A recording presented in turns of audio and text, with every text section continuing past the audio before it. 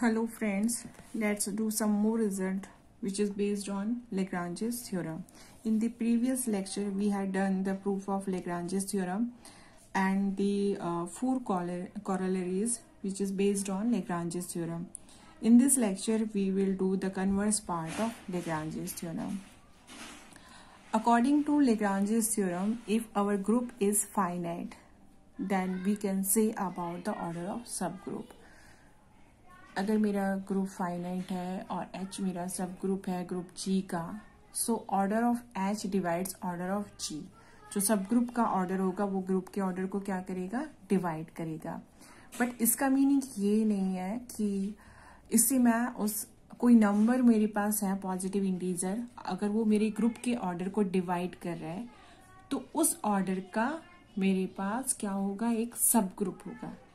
ये ऐसा इस रिज़ल्ट में नहीं है that is the converse part converse part में क्या है? क्योंकि लेग्रांजिस थ्योरम हमें कहती है कि जी मेरा ग्रुप है एच उसका कोई सब ग्रुप है तो वो जो एच है, उसका जो ऑर्डर है, वो मेरे ग्रुप के ऑर्डर को क्या करेगा? डिवाइड करेगा.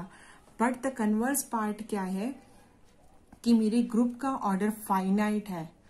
और एम नंबर अगर उसको डिवाइड करता है तो G might not have a subgroup of order M ऐसा नहीं है कि उस ऑर्डर का सब ग्रुप उस ग्रुप में होगा ही होगा। इसके लिए हम एक या कन्वर्स ये जो पूछा जाता है the converse of Lagrange's theorem is not true इस तरह से लिखा होगा, या फिर लिखा होगा A four has A four A four has no subgroup of order six क्योंकि इसके लिए हमें क्या करना है? यही चीज़ प्रूव करनी है। बेसिकली हमें ये एग्ज़ाम्पल लेके चलना है, जो कन्वर्स पार्ट है, ये किस पर फेल होता है? ए फोर के लिए। इसके लिए हम यही एग्ज़ाम्पल देने वाले हैं। बट अगर मेरा ग्रुप साइक्लिक है तो ये रिज़ल्ट क्या लेग्रांजेस थ्योरम का कन्वर्स पार्ट होल्ड करता है। बट हम यहाँ क्या करें? एक इन जनरल ग्रुप की बात कर रहे हैं। यहाँ सिर्फ़ हमें ये पता है ग्रुप का ऑर्डर क्या है? फाइनाइट यहाँ पर मैंने साइक्लिक वर्ड मेंशन नहीं किया है। ऑनली सिंपली ग्रुप की बात कर रही हूँ। ग्रुप कैसा होना चाहिए? फाइनाइट होना चाहिए। अगर आम नंबर उसको डिवाइड कर रहा है तो ज़रूरी नहीं है कि उस एम ऑर्डर का क्या होगा? सब ग्रुप होगा नोट करने वाली चीज़ है। अगर सपोज़ आपको कोई बोलता है कि आपके ग्रुप का ऑर्डर ट्वेल्व है, क्या सिक्स नंबर उसको डिवाइड करता है तो सिक्स ऑर्डर का क्या सब ग्रुप होगा उस ग्रुप का?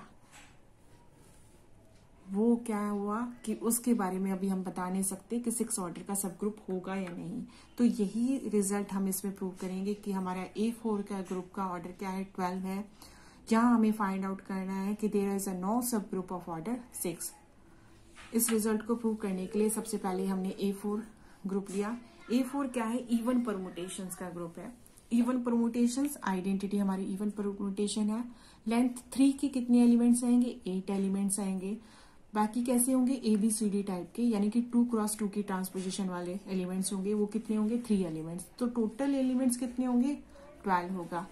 जो ऑर्डर ऑफ़ जी क्या है? ट्वेंटी फोर ए फोर का ऑर्डर क्या निकाल के फैक्टोरियल एन बाय टू तो ट्वेंटी फोर बाई टू से इसका ऑर्डर क्या हो जाएगा? ट्वेल्व हमारा क्वेश्चन क्या है? ऑर्डर सिक्स के सब ग्रुप्स के लिए। क्योंकि हम जानते हैं द सिक्स डिवाइड्स ट्वेल्व तो we will show that there does not exist any subgroup of order six हमें क्या, हम क्या शो करेंगे कि यहाँ पर कोई भी सब ग्रुप इस ऑर्डर का सिक्स ऑर्डर का नहीं होगा ए फोर में। बट नोट करने वाली चीज़ है कि अब इन एलिमेंट से अगर हम सिक्स ऑर्डर का कोई सब ग्रुप बनाए एच तो एच में हमारे पास किसी भी सब ग्रुप के लिए आइडेंटिटी चाहिए। ऑर्डर टू के सपोज़ आपने ये थ्री एलिमेंट्स ले लिए तो रेस्ट जो एट एलिमेंट्स हैं, वो कैसे हैं? ऑर्डर थ्री के हैं। सिक्स ऑर्डर का सबसे पहली बात, यहाँ पर कोई एलिमेंट ही नहीं है तो सिक्स ऑर्डर के तो एलिमेंट्स होंगे ही नहीं। हाँ तो हमारे पास ऑर्डर की जो पॉसिबिलिटीज बची है एलिमेंट का ऑर्डर ग्रुप के ऑर्डर को डिवाइड करता है। थ्योरम की फ़र्स्ट कॉर्नलरी तो हमारे पास ऑर्डर की पॉसिबिलिटीज क्या हो गई? ऑर्डर टू की या ऑर्डर थ्री की? अगर मैं ऑर्डर टू के ये तीनों एलिमेंट्स मैंने मेरे एच में ले लिए आइडेंटिटी में ले ली तो हमारे पास इन एट एलिमेंट्स में से टू एलिमेंट्स बचे, वो उस एच में होंगे ही होंगे। अगर उसका सब ग्रुप का ऑर्डर क्या है? सिक्स है। या फिर हम क्या करें कि हमारे पास ट्वेल्व एलिमेंट्स है सिक्स सिक्स के कॉम्बिनेशन बनाए। ये प्रोसेस बहुत लंबा है। फिर उनको चेक करें कि वो उनमें से कौन सा सब ग्रुप है या नहीं। इस सब ग्रुप इस सारी प्रोसेस से बचने के लिए हमने सपोज़ कर लिया कि और कोई एक हमारे पास क्या है? एच कोई मेरा कोई सब ग्रुप है ग्रुप ए फोर का, और उसका ऑर्डर क्या है? सिक्स है। क्या कर रहे हैं हम? ए फोर का एक सब ग्रुप एज्यूम चल रहा है। ये लिखा मैंने let if possible there be a subgroup H of order six क्या है? ऑर्डर सिक्स का एक सब ग्रुप है। अज्यूम कर लिया हमने।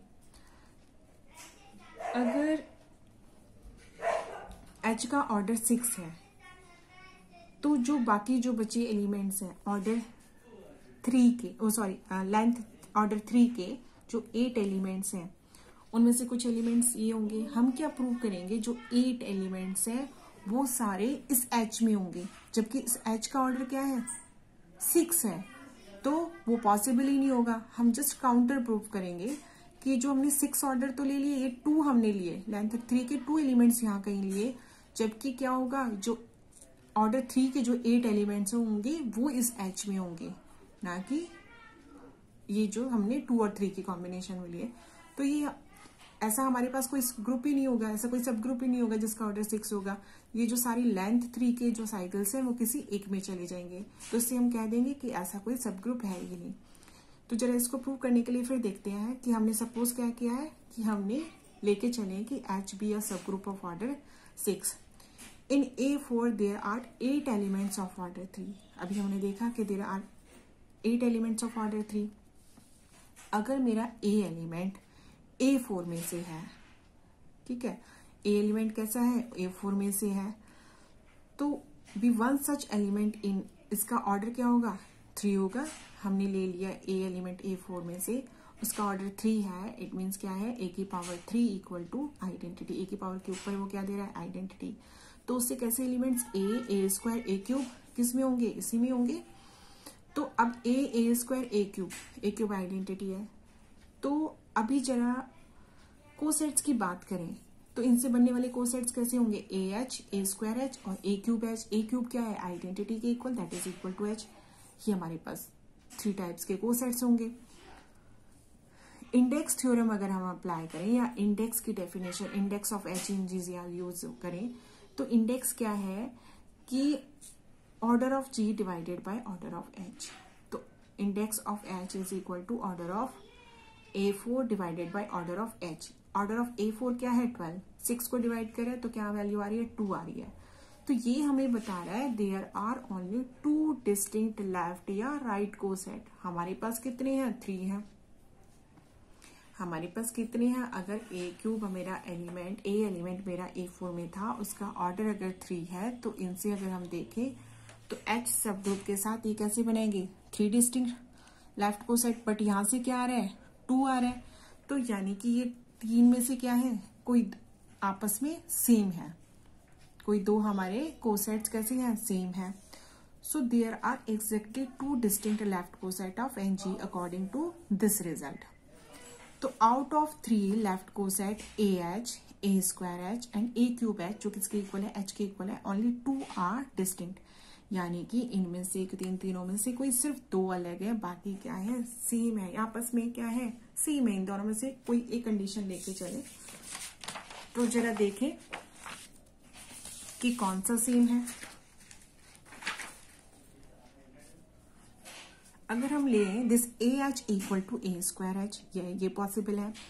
और A square H equal to H और third is A H equal to H इसको जरा लें। ए दोनों साइड मल्टीप्लाई कर दें तो ये क्या बनेगा? A square H equal to A cube H और ये किसके इक्वल है? This is A square H equal to H क्योंकि ए क्यूब क्या है? आइडेंटिटी ए स्क्वायर एच इसके इक्वल आ गया। अब इसको जरा देखें ए स्क्वायर एच को। तो ए स्क्वायर एच को हम देखें, दोबारा दोनों साइड ए मल्टीप्लाई करें तो A cube H equal to A H और इससे क्या निकल के आया? H equal to A H इससे ये आया, इससे भी आया और ये थर्ड क्या यानी कि एच और ए एच क्या है आपस में? सेम है. तो कोसेट्स क्या है आपस में? सेम है. In all three cases we have H equal to A H H किसके इक्वल हो गया? A H this implies A किसमें हमने बिलोंग कराया था? ए किसमें बिलोंग करेगा? ए एच में. और ए एच किसके इक्वल है? एच के इक्वल है. But A was the any arbitrary element of order three कैसे था? ऑर्डर थ्री का, जो हमारा किसमें नहीं था? एच में नहीं था. So all the elements of order three belongs to H यानी कि जितने भी थ्री के होंगे, वो किसमें होंगे? क्योंकि ए मेरा ए का ऑर्डर क्या था? थ्री था. ए किसमें है? ए एच में है. और ए एच किसके इक्वल है? एच के इक्वल है. ए मैंने जो लिया था that was the order of three का था. उसका ऑर्डर क्या था? थ्री यानी कि जो ऑर्डर थ्री के एलिमेंट्स होंगे, वो किसमें होंगे? सारे एच में होंगे।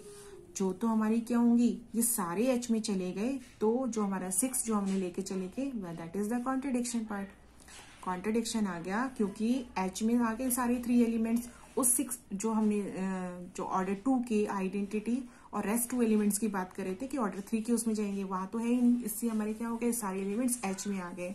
तो since order of H equal to six and there are eight elements of order three order of H किसके इक्वल था? सिक्स था and there are eight elements of order three जो कि क्या है? पॉसिबल ही नहीं है.